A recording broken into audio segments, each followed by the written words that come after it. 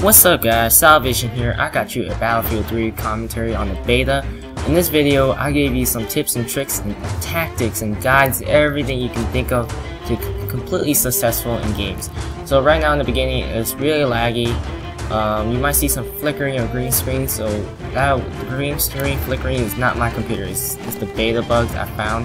Some people have it and some people don't. Um, I find some problems with that a lot in this game. So hopefully you can ignore that and please please do enjoy the video and gameplay I've been producing. This is probably my 20 minute, first 20 minute video I'll be posting on this today. So right now we're gonna start this off with the topics of the guide. So first thing up, first thing first, having a squad and picking up your friends. Um, if you have a squad in public, most likely you don't have any teamwork, and teamwork is the key to winning. I don't care if you get so many kills or no kills, it is all about teamwork and how you take advantage of your teams. So always, always have your friends. Friends is the best, best um, way to have the greatest teamwork you've ever had. Hit on Skype on the PC, chat in the Xbox Live chat party, or go on the game chat on the PSN. So please do always talk. and Communication is very vital. Having communication is the most vital thing you can ever do. If you don't have communication, it's like having no control of your teammates or anything and always follow your communication. Don't talk over each other or something like that. So always keep you guys chronologically ordered or anything organized. So having teammate and organized system out, tactics and thinking is a great way to winning the game. So next thing we're going to talk about is the kits. I'm running an assault kit with the UMP red dot. Um, assault kits are for medics, and medics are usually, they have defibrillators and a medic pack. So always, if you're a medic, use the medic pack as much as possible. Every time I spawn, I would usually drop a medic pack, but sometimes I don't, mainly because they're not in a battle. But I always drop medic packs as much as possible and keep my teammates alive. Having your teammates alive is really good. Instead of waiting a 5 seconds delay of spawning, your teammates will be faster paced out. Meaning that every time you revive someone or drop a medic pack to keep them alive, the game will be more fast paced and more enjoyable. So always use your kits to advantage. Um, the second kit will be a engineer kit. Right now, apparently, I'm playing Operation Metro, and there is no vehicles. Engineers are built for vehicles to attacking, destroying vehicles, or use them to repair. Repairing vehicles is a great advantage. I'll be posting some Caspian border to show you some footage of some repairing vehicles, so hopefully I can get some footage of Caspian border. But right now we're playing Operation Metro. Engineer is almost completely useless without vehicles, but they're not. They have some guns are really good at um, defending and attacking.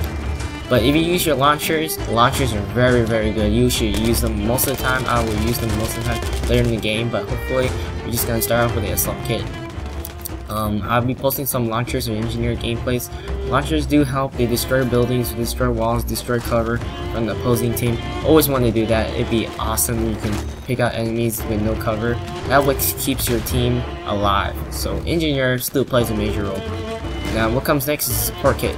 What support kits do is they suppresses the enemy, meaning that you usually lay down your bipod and spray and pray that's the point of support. That's why they have ammo packs. Ammo packs are a very vital thing. Like I said, it's really important to drop ammo packs every time you spawn. I think really every time you spawn your spawn, you always want to drop them. Drop them in your objective areas, drop them where you think the most traffic area is. So dropping ammo pack is helpful, but in this game, not many people lose ammo that much, don't know run out, but always drop ammo packs. It helps your teammate a lot, keeps the game going.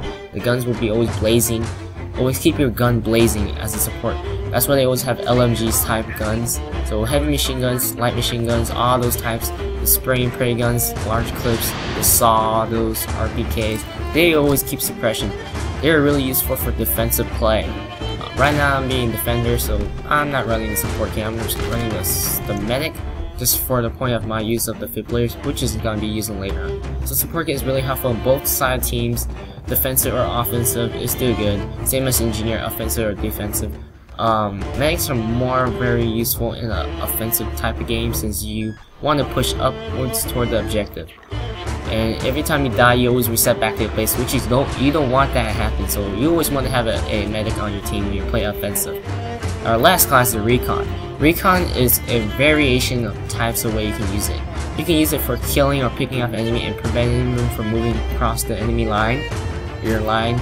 Or you can use it as a offensive play, which they included a spawn point type, the I think it's called radio thing, the beacon. I don't know, radio beacon, but you can use that. That is very helpful. I don't see much people use it, but when I play with my friends, my friends run the re recon kit, you better use that. That is very good for offensive plays. I don't see much for a defensive. The recon's only thing they can do at defensive play is basically pick up enemy and prevent them from going line. But always, always for recon, the original jobs for recon to spot people instead of a mobile spawn point. Having a mobile spawn point is really good, and spotting is a great advantage. It's like having a UAV every time in the air. So, spot, take advantage of your scopes. I would recommend you run a semi-automatic sniper if you're not really good at sniping, or if you're really good, run a bolt action. Bolt actions are usually one-shot kills and they're really awesome. The SV98 is a good bolt action rifle. I tried it, it's awesome. So you're not good at sniping, use the semi-automatics. Any semi-automatic works. It depends on what you prefer. So take advantage of sniping. Don't just sit back and kill people. Especially when you're recon, you sit way too back when you're you're playing as a defensive player. Always want to get close enough so you can get close to the battle. Don't be too far, don't be too close. If you become too close, then you're basically an SMG type person, which is not the right thing for recons. Always run between the medium distance. So medium distance works out, and that is always. So you're going through, we have gone through all four kits. Um, pick the right kit for each situation. Uh, I'm running the UMP for a reason because it's a subway and it's always close quarter combat. And when you use your gun, always take advantage of everything. As for me, as an SMG person, I will always take advantage of hip firing. Hip firing is a great advantage in close quarters. Never ever hip fire long distance, maybe medium distance, but hip firing gives you ability for more mobility to move side to side and make the enemy misses miss their shot. So I recommend hip firing with the assault rifles and the SMGs. What's coming next is advantage of destruction. Like I said with the engineer kit, they have the the RPGs, the launchers, all that good stuff. Take advantage of good destructions. Um, they destroy anything that gets in your way uh, when it comes to vehicles, destruction is very notorious with tanks, uh, jeeps, all that stuff. You can use jeeps to destroy plywood from protecting some hiding spots, so take advantage of destruction. Now, what's next is objective play. Depending on what your team is on, defensive or offensive team, always play for the objective no matter what if you see, if you're playing offensive team and you see the entire team right there, you can just go for the kills, or you can stand about maybe 5 feet away from the objective, arm the objective first. It puts pressure on the team. Putting pressure on the team makes it very fun. I find it fun to have pressure upon my team, but it's kind of gives you the urge that you want to defend the objective or defuse it. So arming the objective and defusing it. If the objective is right in front of you and you need to defuse it, defuse it. It costs your life. Don't be afraid to die. Uh, there's lots of people who are afraid of dying, and dying is something that many people don't want to do, but don't be afraid to die. It's better than losing a game. You want to play for a win. Now, I can understand losing, which is, I'm going to explain at the end of the video, but for right now, we're going to talk about winning. Think of uh, what objectives are. Prefer, I will prefer you to play for objectives over kill death ratio. Um, KDR does not matter in this game. It's all about army objective. Now that doesn't mean to you can't kill, you don't depend on killing, but killing does help, it keeps the pressure too, but what keeps the most pressure is the objective you want to focus on the objective. No matter what, don't take your eye off the objective is your mission and that is the point of your mission. Unless you're playing TDM. So other than that, you want to focus on your objective no matter what defusing. Right there, I sacrificed my life just to try to defuse the objective, but I failed. But I pretty much, hopefully my teammate can redeem themselves, but eventually they didn't and we had to be pushed back. So if your entire team does not go for objective, you gotta have a really hard time and frustration. Now that's my next topic. Frustration. Many people get frustrated, they trash talk, they do anything to frustrate themselves. Not necessarily themselves, not literally taking frustrating, but you don't realize that you're frustrating yourself more and more. When you're frustrated, you know that you're gonna do horrible. Never ever get frustrated try to think positive. Always have a positive attitude when you're losing. Having a positive attitude will help you a lot in gaming. I mean, if you try playing a game without a positive attitude, you will really, really struggle and you will be so stressed out you can't think of anything other than doing it. I don't know what you say, rage quit, you can always rage every time. So usually when you have a raging moment, you usually you want to get revenge on someone, which is most of my time when I get killed so many times by the same guy. Now revenging on a guy is something I don't want to do. It's a habit and you want to get rid of that habit. No matter what, the guy will usually get you and you're just wasting your time. Even if you kill him, he's going to come back for you. So do not waste your time with the guy. Go for the objectives. Don't waste your time with anything else but your mission. So always keep that in mind. Our next move is don't spend too much time in one area. Always be productive. If you're not productive with your teammate, then basically you're just not being a team player. Being productive means that you move around, drop ammo packs, all that stuff. So move around, check the area, check the perimeter, always check your surroundings. Always know your maps right. If you don't know your maps, then most likely you do horrible, like every other map. You will always do horrible when new maps comes out and you try it out, as a fact, and I will never see a guy who does perfect, unless they're truly good at the game. So know your surroundings. Being useful with your attachment and take advantage of your gun. I will recommend you, when it comes to the outside, I recommend you run the laser with foregrip and the red dot or anything, or maybe the ACOG, maybe ACOG would be better outside door. When the first map we were beginning, outdoors is always long range, um, you don't want a flashlight or you get spotted easily, so run the laser sight. You want something that improves your accuracy, reduce recoil, so maybe you'd be smart to run a assault rifle or a sniper rifle, so always use your atta attachment for great use. I find a great use in the subway is the flashlight, which I didn't use, but a flashlight is really good in the subway. Turn it off when you're not in the range, but when you're in range, turn it on, you completely blind the enemy, and that is really good advantage you want to take upon. So using full attachment is really good. Now, the selecting fire, there is semi-burst and fully automatic. You want to take use of that. Fully automatic is close quarter, burst and semi is between the medium and long. Um, there's nothing to be afraid of using semi. Semi is really more helpful than fully automatic when it comes to long range, especially Battlefield. Battlefield has a large map, you want to take advantage of semi-automatic. That's why semi-automatic rifles are made for snipers because they have a great advantage of low recoil and you're taking more precision on your shots. So your shots are always on with semi-automatic most of the time. Um, fully automatic is good for close quarters, you can spray, that's the point of fully automatic. Fully automatic is not meant for spraying, praying across the map, so keep that in mind. Semi-automatic, fully automatic, different types. Burst is good, it's supposedly good in close quarters, basically close quarter, medium, and long. long. Uh, you can try to burst fire in the close quarters, but it's not as effective as fully automatic. But burst fire might be fully might be almost effective as the semi-automatic, depending on the gun. Some guns have a lot of recoil, so it wouldn't be a good idea to use a burst fire type situation. I recommend you using burst in a medium combat situation.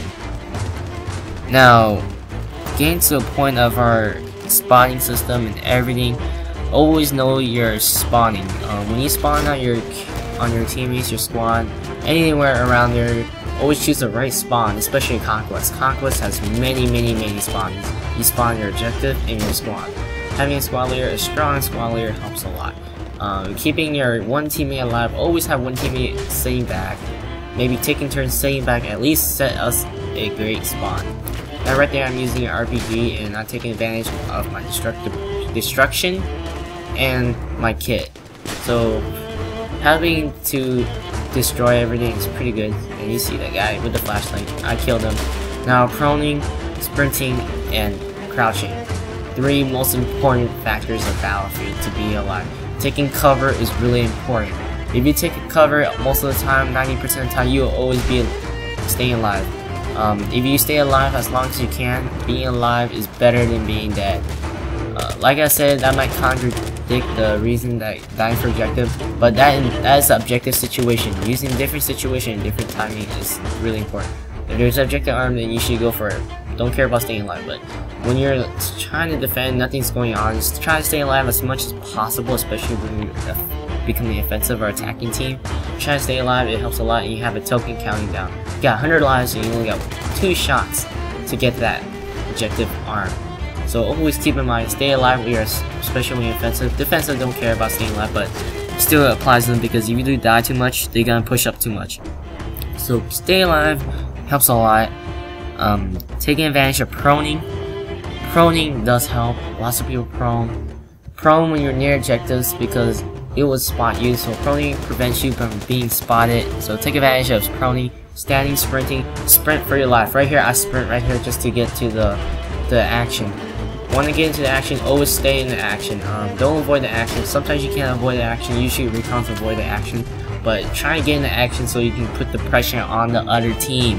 That is the key to winning. Pressure.